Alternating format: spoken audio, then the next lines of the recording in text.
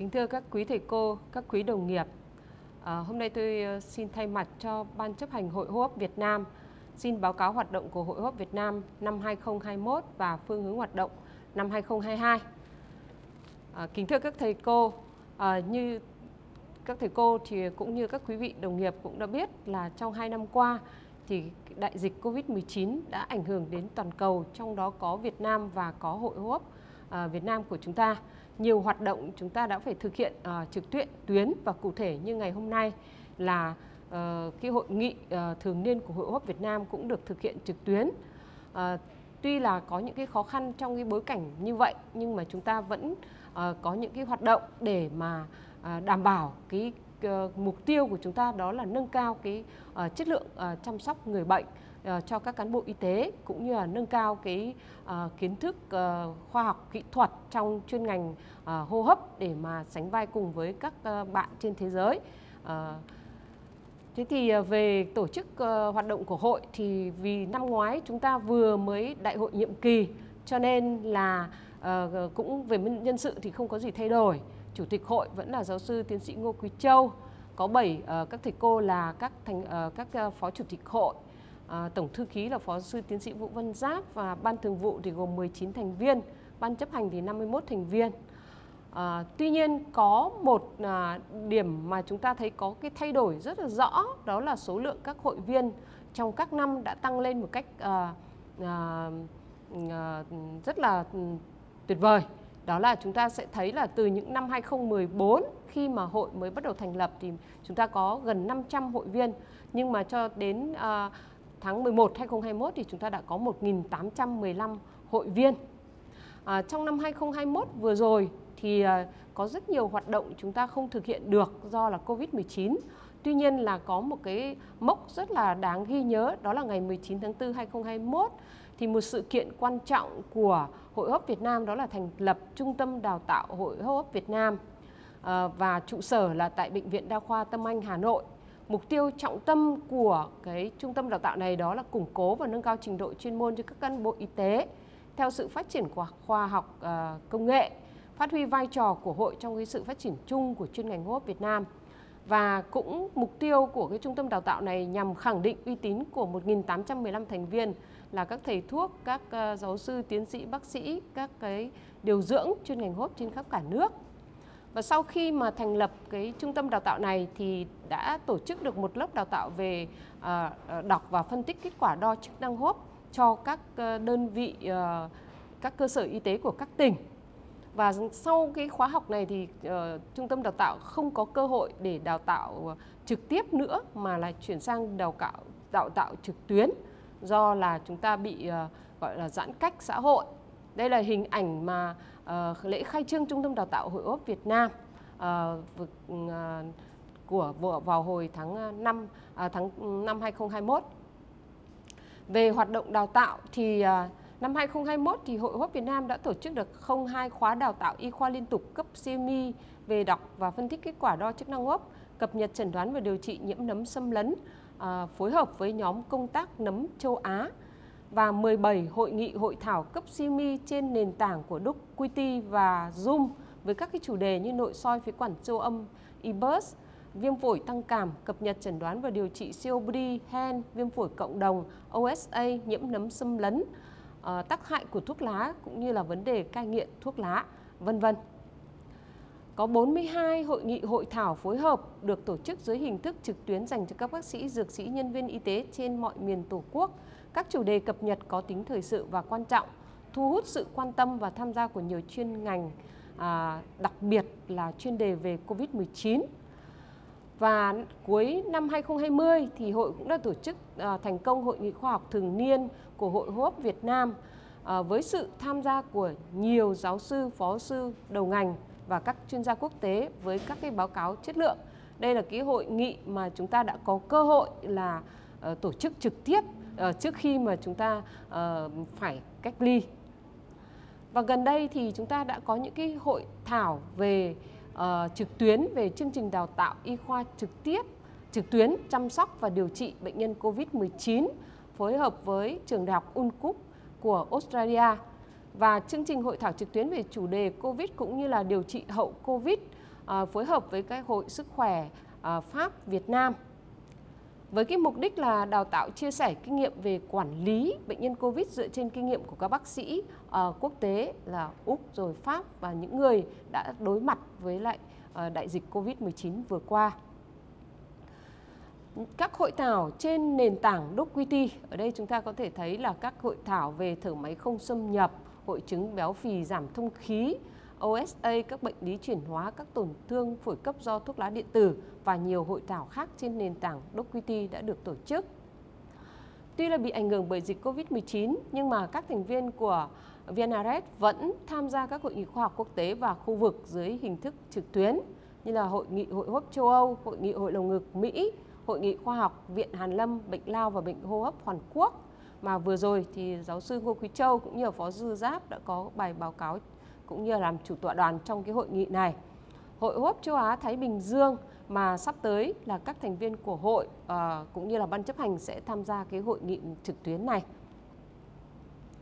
Về vấn đề biên soạn và ấn bản tài liệu chuyên môn thì à, trong năm vừa qua là có hai tài liệu do VNRS biên soạn đã được Bộ Y tế cho ban hành vào đầu năm 2021. Đó là hướng dẫn chẩn đoán điều trị viêm phổi mắc phải cộng đồng, hướng dẫn chẩn đoán điều trị à, nhiễm nấm xâm lấn là có cái sự phối hợp mà giữa Hội hô hấp Việt Nam, Hội hồi sức cấp cứu chống độc Việt Nam và Hội hô hấp Hà Nội à, à, biên soạn và đã được Bộ Y tế ban hành. Hiện tại thì hội đang tiến hành biên soạn hướng dẫn chẩn đoán và điều trị bệnh lý phổi kẽ, cập nhật hướng dẫn chẩn đoán và điều trị bệnh phổi tắc nghẽn mạng tính. Và vừa qua thì cũng đã hoàn thành 4 cái hội đồng à, hội thảo đồng thuận chuyên gia để mục tiêu là cập nhật cái hướng dẫn chẩn đoán và điều trị bệnh phổi tắc nghẽn mạng tính dự kiến sẽ ban hành vào tháng 12 2021. Đây là hội uh, đây là các cái hội thảo về đồng thuận chuyên gia, các thầy cô có thể thấy Đối với hoạt động đối nội thì hội luôn luôn là phối hợp với các bệnh viện, ờ, các cơ sở y tế, các trường đại học để mà tổ chức các hội thảo. Ví dụ như vừa rồi đã phối hợp với Bệnh viện Bạch Mai tổ chức hội thảo hưởng ứng Ngày Bệnh phổi tắc nghẽn mạng tính toàn cầu chia sẻ kinh nghiệm và điều trị về cai nghiện thuốc lá với đông đảo sự tham gia của các ờ, cán bộ y tế trong bệnh viện Bạch Mai cũng như là các đơn vị khác. Và ừ,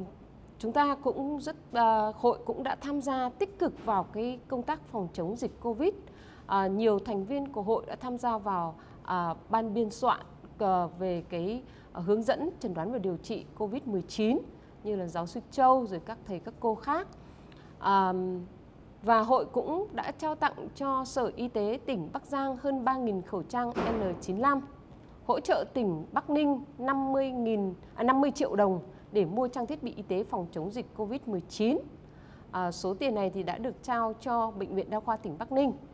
Hỗ trợ tỉnh Điền Biên 50 triệu đồng để mua trang thiết bị y tế phòng chống dịch COVID-19. Số tiền này cũng được trao tặng cho Trung tâm Y tế thành phố Điện Biên và hỗ trợ thành phố Hồ Chí Minh và các tỉnh miền Nam 300 máy đo à, uh, SPO2. Toàn bộ số máy đo SPO2 này, này đã được giao cho ông Nguyễn Tri Thức, giám đốc bệnh viện Trợ Rẫy thành phố Hồ Chí Minh. Ở đây là các hình ảnh các uh, cán bộ của hội đã đi trao quà tặng ở tại tỉnh Bắc Giang ủng hộ cho phòng chống dịch Covid tại tỉnh Bắc Giang.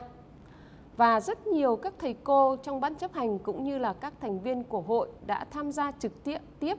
à, trong tuyến đầu chống dịch tại tất cả các tỉnh thành trên đất cả nước, đặc biệt là ở thành phố Hồ Chí Minh và ở các tỉnh à, miền Nam tham gia vào các hoạt động tư vấn khám chữa bệnh, đào tạo từ liên tục từ xa ứng phó để mà ứng phó kịp thời với Covid-19. Và trên hình ảnh đấy thì các thầy các cô có thể nhìn thấy giáo sư Dương Quý Sĩ ờ, trực tiếp tham gia uh, trong cái ờ, tuyến đầu về chống dịch Covid cùng với các bác sĩ uh, điều dưỡng của trung tâm hô hấp đã tham gia vào các cái hoạt động này.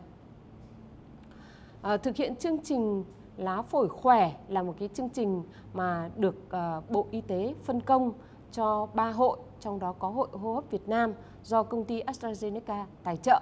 thì à, vẫn tiếp tục hoạt động ở 43 đơn vị quản lý hen và COPD đã được thành lập và quản lý hơn 50.000 bệnh nhân hen COPD trên cả nước